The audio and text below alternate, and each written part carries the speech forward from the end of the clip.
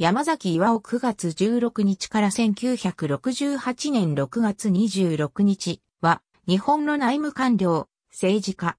警保局長、警視総監、内務次官、内務大臣、自治大人権国家公安委員会委員長を歴任した。福岡県大川市に生まれる。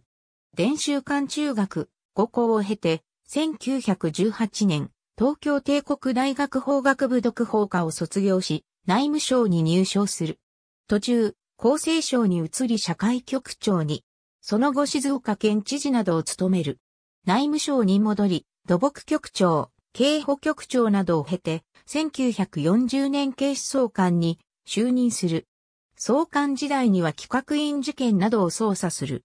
東条内閣では内務次官を務める。彼自身の力量もあったが、兄、辰之助を通じた帝国議会対策を東条秀樹首相から期待されての起用だった。終戦後、1945年、東国宮内閣で内務大臣。在任中、マッカーサーが昭和天皇の訪問を受けた際の写真の掲載禁止を指示したが GHQ から命令撤回を指令される。また政治反釈法に反対し、天皇制に反対する者は共産主義者であるから今後も治安維持法によって逮捕すると国体の擁護と同法の維持を主張。自由の指令を発した GHQ と対立する形になり、罷免、公職追放となる。これを契機として、東国宮内閣も改革指令の遂行は共産革命を誘発し、不可能として総辞職に至った。1952年追放が解除されると、第25回総選挙に戦前声優会の代議士だった辰之助の地盤を引き継いで自由党公認で立候補し当選した。保守合同後は自由民主党小型廃止派に所属。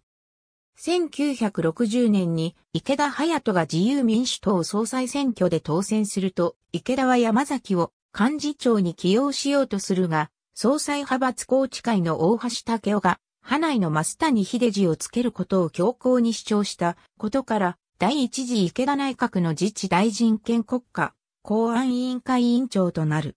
しかし、同年10月に起きた浅沼稲次郎暗殺事件で国家公安委員長として責任を取らされ辞任した。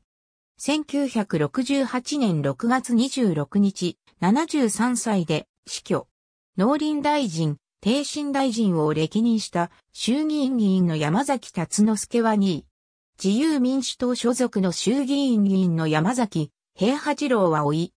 妻は内務省の先輩で横浜市長を務めた有吉忠和の長女。日本郵船社長の有吉義也は義兄。元建設事務次官の柴田達夫、元日本電信電話公社総裁の米沢茂、川上義美氏の次男で、東方アドセンターの社長を務めた川上流には義弟。歌詞の妻すなわち流二の母は、天文学者、寺尾久志の5歳の命。ありがとうございます。